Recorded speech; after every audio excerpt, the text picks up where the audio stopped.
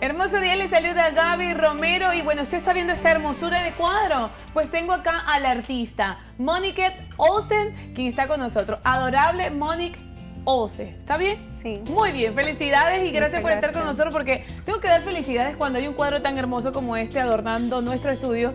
Te felicitamos. Es de nuestra zona hondureña y queremos conocer un, un poco más sobre este trabajo tan espectacular que realizas. Bienvenida y felicidades. Muchísimas gracias.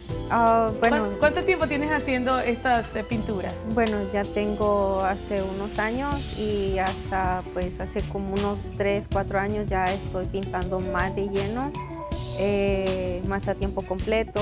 También hago cerámicas, ilustraciones, murales. eh, y sí, me inspiro en la naturaleza, en la figura humana. Eh, me gusta trabajar con una paleta de colores vibrantes y logrando pues los contrastes eh, que se vean pues casi como espontáneos en la pintura, en la, sobre el lienzo. ¿Esta técnica es a base sobre lienzo? Sí, ¿Con eh, pincel? Con pincel. Bueno, te, te quiero felicitar. ¿Tu proyecto a, a corto plazo, qué es lo que tienes inmediatamente Eh, que nos puedas contar?